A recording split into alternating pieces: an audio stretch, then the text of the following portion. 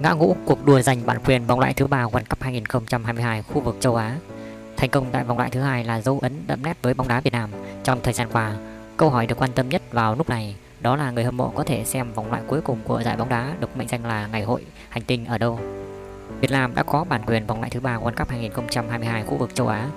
Khán giả Việt Nam chắc chắn sẽ được theo dõi vòng loại thứ ba World Cup 2022 khu vực châu Á kể từ tháng 10 năm 2020 truyền hình FPT đã sở hữu trọn vẹn và độc quyền bản quyền phát sóng vòng loại thứ ba FIFA World Cup 2022, thời điểm đội tuyển Việt Nam còn chưa thi đấu vòng loại thứ hai. Cụ thể, vòng loại cuối cùng World Cup 2022 nằm trong gói bản quyền AFC mà đài truyền hình FPT nắm giữ từ năm 2021 đến năm 2024.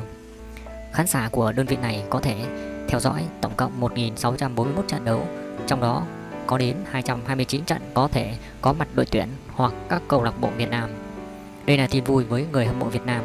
Điều này càng có ý nghĩa hơn khi đội tuyển quốc gia vừa xuất sắc điền tên vào vòng loại cuối cùng World Cup 2022 khu vực châu Á và đủ điều kiện vào thẳng vòng chung kết ASEAN Cup 2023.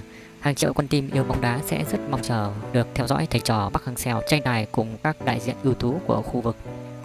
Dấu ấn cho cuộc đua bản quyền từ sau thành công của đội tuyển U23 Việt Nam tại vòng chung kết U23 châu Á năm 2018, sự quan tâm của người hâm mộ dành cho bóng đá nước nhà ngày một lên cao. Điều này dẫn đến cuộc đua bản quyền phát sóng các trận đấu, giải đấu quốc nội đặc biệt liên quan đến đội tuyển quốc gia Việt Nam càng trở lên khốc liệt. Việc sớm giành Pone trong cuộc đua bản quyền vào vòng loại thứ ba là nước đi đáng chú ý của đài truyền hình FPT.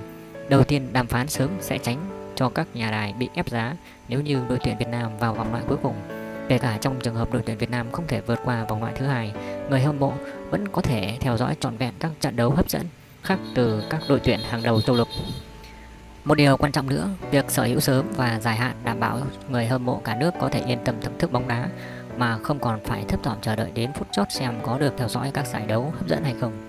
Điều từng xảy ra tại World Cup 2018, đây không khác gì một làn gió mát thổi vào cơn sốt bóng đá của người hâm mộ Việt Nam. Thứ hai, việc sở hữu bản quyền vòng loại thứ ba nơi có đội tuyển Việt Nam thi đấu là cơ sở quan trọng để truyền hình FPT xây dựng hệ sinh thái nội dung.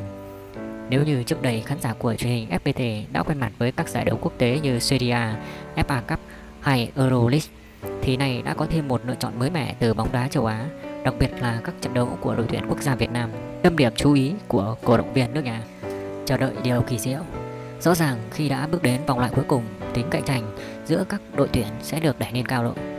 Nhưng với tinh thần đang lên cùng tài dụng binh của thầy Bắc, người hâm mộ hoàn toàn có cơ sở để tin vào những kết quả tích cực cho đội tuyển Việt Nam. Bên cạnh việc nỗ lực thi đấu, đội tuyển Việt Nam sẽ rất cần sự cổ vũ của người hâm mộ nước nhà. Toàn bộ các trận đấu tại vòng loại thứ ba World Cup 2022 khu vực châu Á sẽ được tường thuật trực tiếp trên hệ thống truyền hình FPT và FPT Play. Đại diện đơn vị này cho biết họ sẽ đầu tư nâng cấp chất lượng phát sóng, sản xuất nội dung đồng hành để khán giả không bỏ lỡ bất kỳ diễn biến nào của vòng loại cuối cùng.